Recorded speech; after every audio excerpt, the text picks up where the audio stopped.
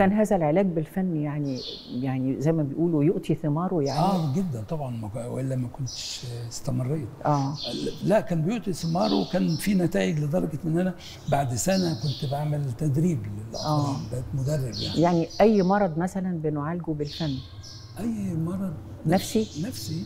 آه يعني إزاي يعني هو يعني حدد لنا كده مثلا اسم مرض نفسي وكيف نعالجه ال- الامراض ال- يعني هناخد أبسطها يعني الاكتئاب اللي هو الاكتئاب، الشائع آه. يعني آه الاكتئاب هو له مظاهر أحد هذه المظاهر عدم الرغبة في الحياة وعدم الرغبة في آه. المشاركة و- آه. ورفض لل يعني الواحد بيبقى بيقول لك ملوش نفس يعمل حاجة يعني ده أبسط حاجة فيه آه. يعني فازاي تحول الواحد من هو رافض لكل ده إن هو محب لل- للحياة؟ للحياة؟ آه. آه، إحنا متعودين لما بنروح لدكتور نفسي اللي قعدنا على السرير المشهور ده أو البتاع ده الشيزلونج ده ونقعد نتكلم.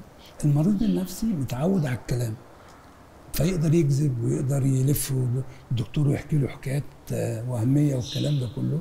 لكن بالرسم ما يعرفش يكذب لأن دي مش لغة شائعة في فما يرسم آه، المعالج بقى يبص على رسم ال- اللي رسمه ده ويقدر من خلاله يقرأ الموضوع. مشكلة فين بالظبط؟ يعني إيه أسباب الاكتئاب آه، إيه؟ من من الرسم من الرسم بتاعه. اللي رسمه ال- الشخص أو المريض. بالظبط بالظبط. من خلال بقى ده بتبدأ مرحلة علاج.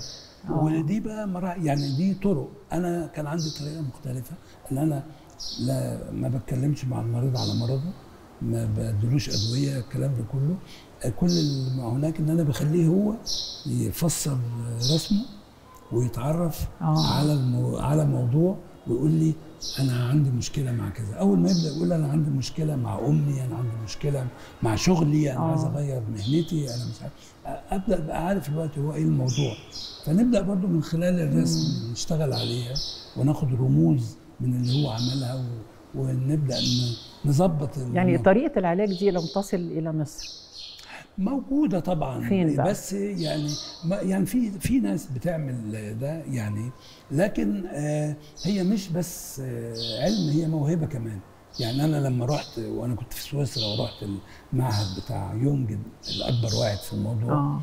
فالمدرس اللي كان بيتعامل معايا قال لي هي جزء منها طبعا معرفة وجزء تاني موهبة لأنك أنت موهبة خدمة الناس. أصل ده آه. موضوع له علاقة بأنك أنت عاوز تخدم ولا لأ؟ عايز تفيد ولا لأ؟